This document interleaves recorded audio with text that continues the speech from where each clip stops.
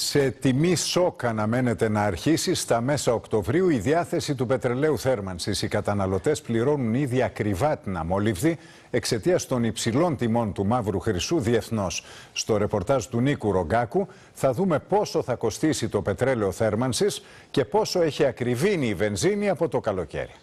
Δεν τελειώνουν τα βάσανα των πολιτών με την ακρίβεια, αφού εκτός από τα τρόφιμα καλούνται αφενός να πληρώνουν ακριβότερο πετρέλαιο για να ζεσταθούν, αλλά και καθημερινά ακριβότερα την αμόλυβδη βενζίνη.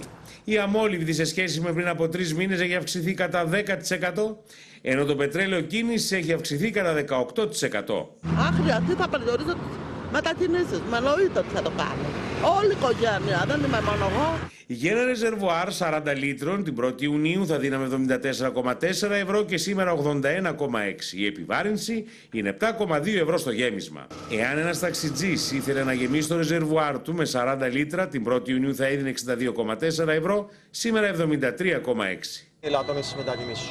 Δεν, δεν βγαίνει αλλιώς. Έχουν ξεφύγει τα πράγματα πάρα πολύ. Δηλαδή, τι να πούμε τώρα; Οι αμόλυβδοι πωλείται σήμερα στις κυκλάδες έως 2,46, στα Οδεκάνησα 2,45, 2,35 στη Λευκάδα και 2,39 στις Σέρε, 2,33 ευρώ στοιχείο και 2,30 ευρώ στο Ηράκλειο. ποδήλατο ή τα μέσα μαζικής ε, μεταφοράς. Τίποτα άλλο, δεν βλέπω κάτι άλλο. Και το πετρέλαιο θέρμανσης όμως θα το πληρώσουμε χρυσάφι φέτος, αφού πέρσι η διανομή του ξεκίνησε με 1,41 ευρώ το λίτρο και σήμερα, αν ξεκινούσε η διανομή, θα το πληρώναμε ως 1,60 ευρώ το λίτρο.